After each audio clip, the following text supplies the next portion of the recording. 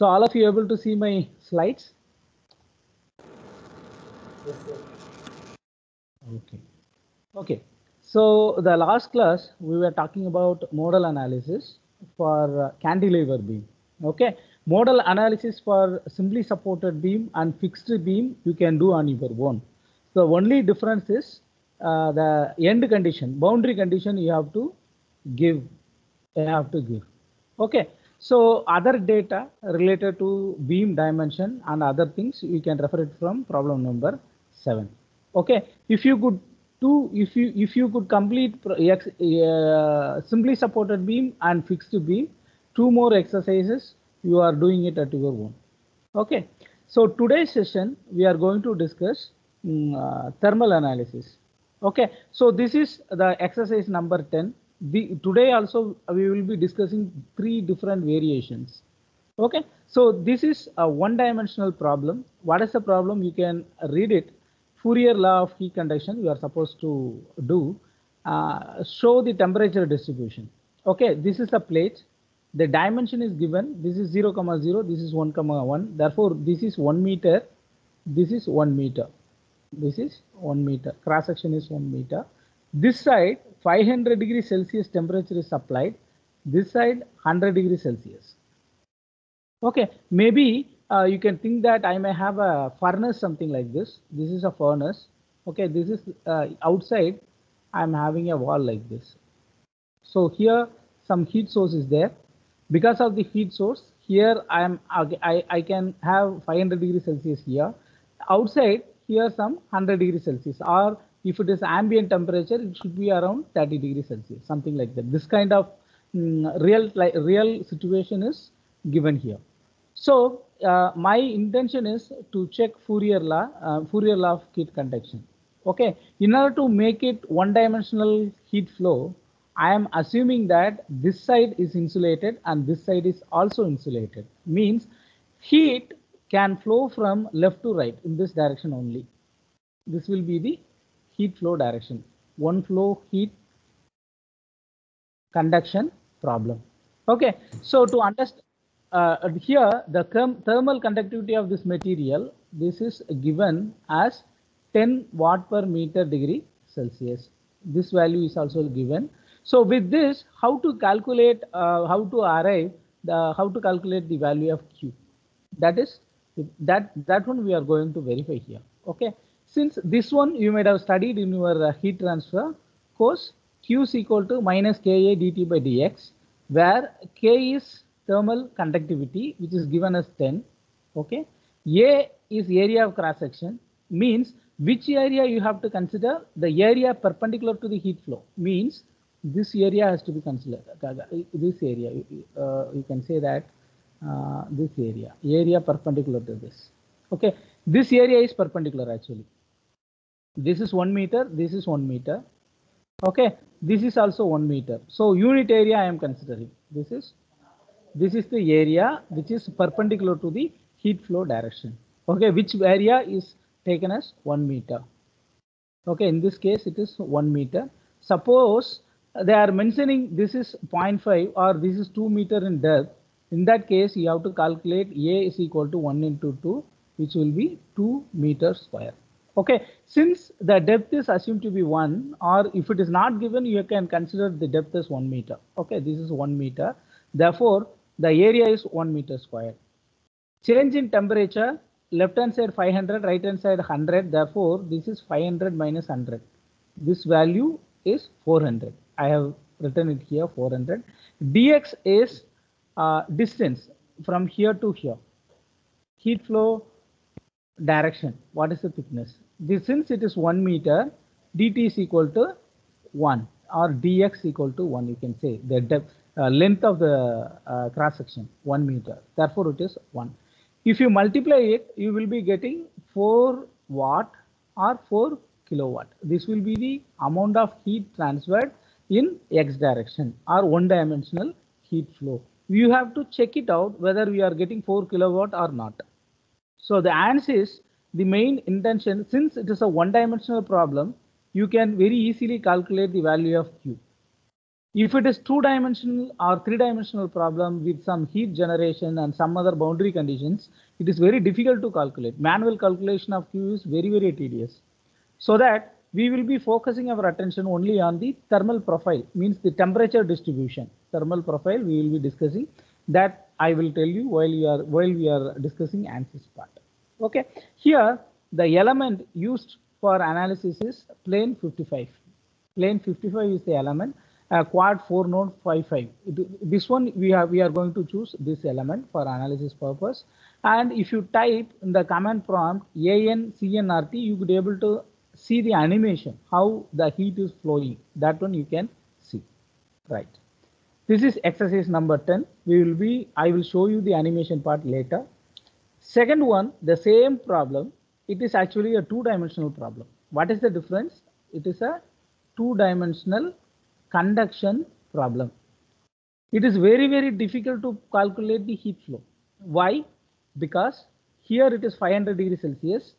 All other sides are 100 degrees Celsius.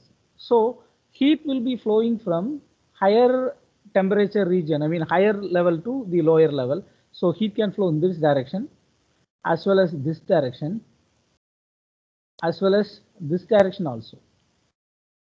Here, here will also it will flow heat will flow like this like this so it is very difficult to calculate okay so this problem we are not supposed to in, uh, we are not interested in calculating the heat flow but we will be interested in seeing the thermal distribution thermal distribution or temperature distribution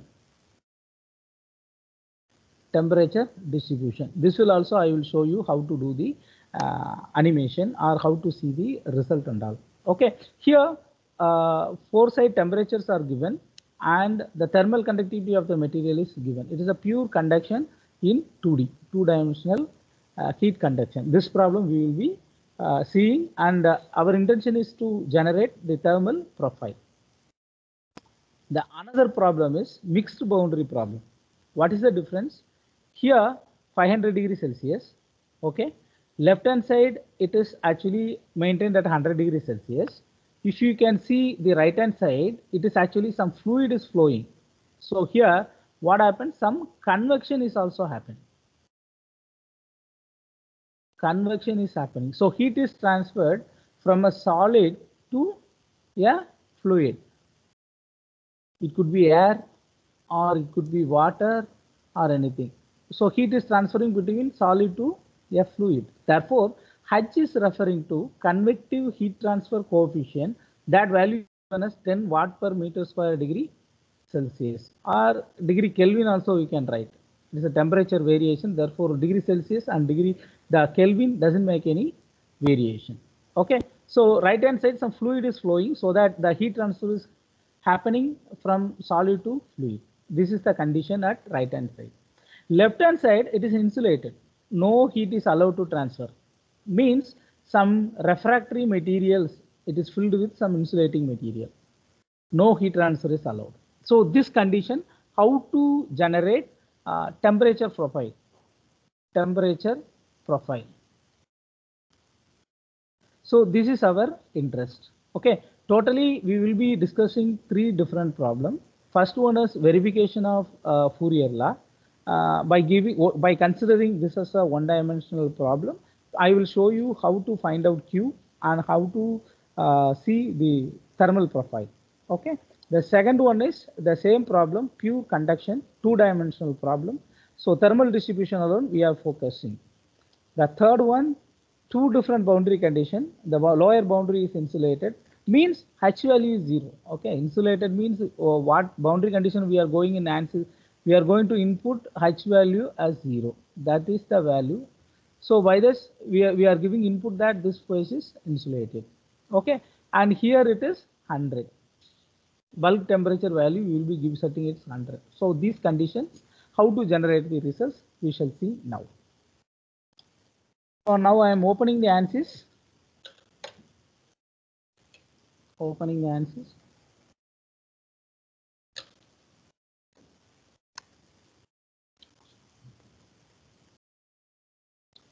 Okay. So you can run.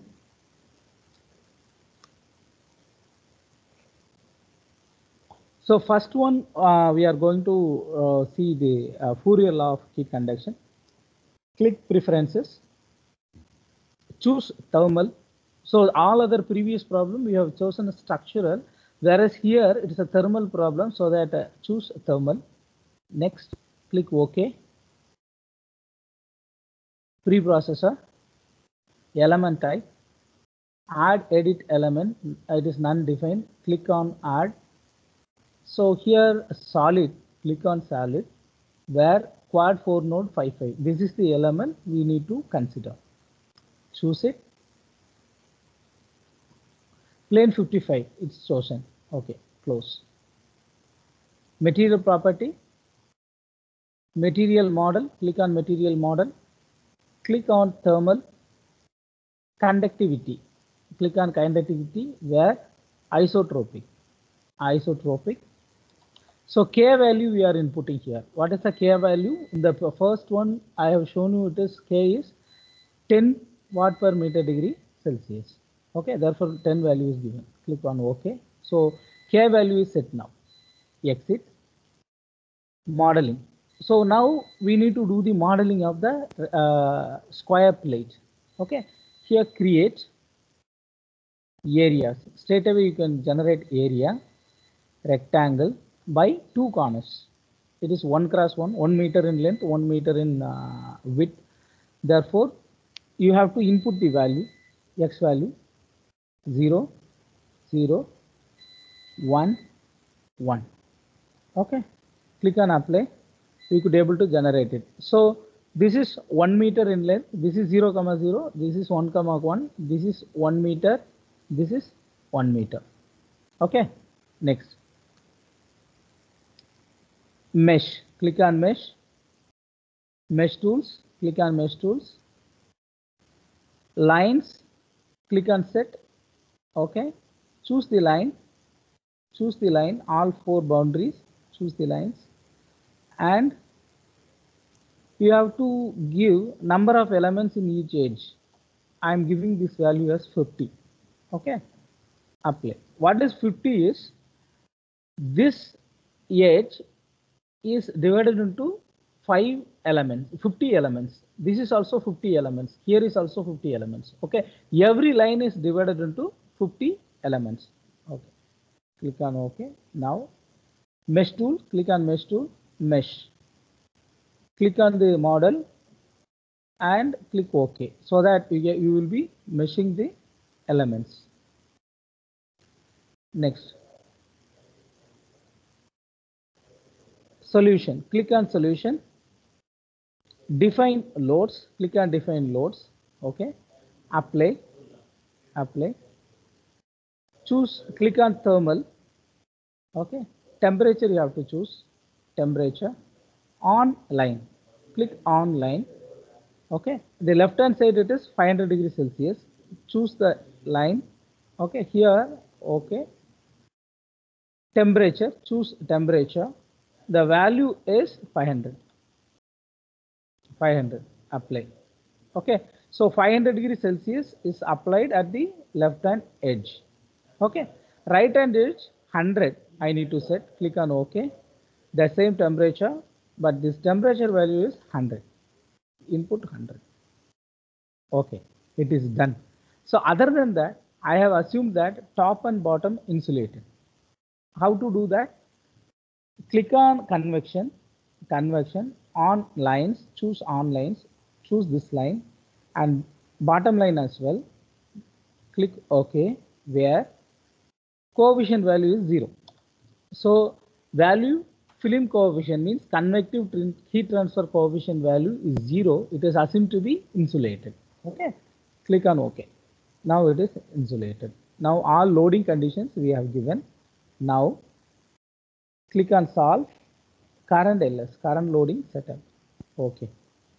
So solution is done. Right. First let us see the thermal history or the thermal profile click on general post processor plot results click on contour plot nodal solution click on nodal solution where click on degrees of DOF, DOF solution nodal temperature. Okay. It will be showing showing in this way. Okay, this is the temperature profile. So the highest temperature uh, this, will be 500. So 450 to 500 is happening here. The color range, the respective temperature is shown in this graph. So the maximum temperature is 500, which is happening this edge along the red color. Here, uh, this is the minimum blue, which is 100 here. So the temperature variation is shown in this uh, graph. If you want to animate this, you need to type the command prompt a uh, ANC CNTR. You type it, click enter. You can see the animated version means uh, how the temperature is being distributed in the given square plate. Okay, can stop it now. So I wanted to see the value of Q, value of Q. Okay, so thermal gradient vector sum I can click so that no, it is not. Element uh, thermal flux element solution click on element solution. Heat flow click on heat flow. Heat flow choose. Okay. Element solution. Oh there's something wrong. Yeah. Uh, 4000 or no yeah. So thermal flux you can choose and you can find out this will be the value. 4000 uh, watts or 4 kilowatts. This is the amount of heat transferred from left to right. Okay. So one more time where the result where you have to see you have to see plot results nodal solution sorry element solution element solution thermal flux thermal flux vector sum you click okay so that you will be getting the value of q. So with this uh, the first problem is over. Verification of uh, fourier heat conduction equation. Okay right. Now let us see the second case. Second case uh, you delete all the loading and all. So you, you, you can start fresh as well everything is deleted all sort of loading. Up to meshing it is available. All sort of loading created meshing and everything remains same. Okay? So the model is created uh, every line is divided into 50 elements and meshing is done. Up to this it is available. Okay? Next the loading condition varies. Pure conduction in two dimension. Okay? Apply thermal temperature on line okay. Upward the top line you have to give 500 degrees celsius. It is 500 okay. Apply. Okay. So all other sides all other sides 100 degrees celsius. Set it to 100 degrees celsius. Apply. Okay. Now loading condition is over. This is pure conduction. I mean the two dimensional conduction we will be seeing the result thermal history alone. Solve current ls okay. Solution is done. Okay. Now you can see the general post process go to general post plot results. Contour plot nodal solution where DOF solution nodal temperature. Okay. This will be the temperature history. You see the variation. So the highest temperature 500 is happening along this line here. Here the temperature range is around 400 around 400 so 370 to 400 so this is the temperature history. We are getting it. Okay. Finding q you can plot but of course the analytically checking the plotted result is very very difficult which involves a lot of uh, calculations. Okay. You can take one or two example problem from heat and mass transfer book and you can check if you are interested. Okay. So uh, the second problem our objective is to create the thermal history. You will be seeing the thermal history here. If you want to animate we can do the animation as well how the load is being applied. So it is coming up. So this is how uh, the heat is transferred. The temperature gradient is taking place in this way. Okay. Just stop it. Okay. So the second problem is over. Second version. The third version is uh, we can uh, you can start the problem fresh or you can delete the loads and you can start doing the work. All loads and all okay right so every loading every solution has been uh, deleted now. Now the third problem top surface 500 degrees celsius on temperature on lines. Choose here. Click ok. Temperature will be 500 okay and left edge which is 100 100 okay so right hand edge right hand side you have to go for convection because uh, some fluid heat is transferring from solid to fluid. Okay? On lines choose on lines. Click it. Okay? Okay. Here the convective heat transfer value is 10 10 per 10 watts per meter square kelvin or degree celsius Okay, and again the temperature value is also given bulk temperature. If you see this is the bulk temperature, outside temperature 100 degrees Celsius. Therefore, the 100 is inputted here. Here 100. Here convective heat transfer coefficient is 10. Okay, now click OK. Now it is been applied. Bottom side is insulated means convective heat transfer coefficient value you give it to zero. That's it. Now the loading or boundary conditions are given. Now you can solve the problem, solve the problem with the current LS, current load setup. Now you could get the thermal distribution, general post processor, plot results, contour plot, nodal solution, DOF solution, nodal temperature, okay, click OK. So this will be the variation. So if you could compare the all three thermal distribution curve, you can understand how the boundary condition influences the temperature distribution in the material. Okay, you can see that here you will be getting the lowermost, I mean highest temperature. Here you are having uh, the 100 degrees Celsius, lowest temperature here, and these are all the variation. Though we got we we have fixed the value of temperature is 100 degree in the right hand side. But uh, here the temperature range is higher. Higher temperature range we are getting. It okay you have to carry out analysis like this. So with this today's class is over. Any questions? Any questions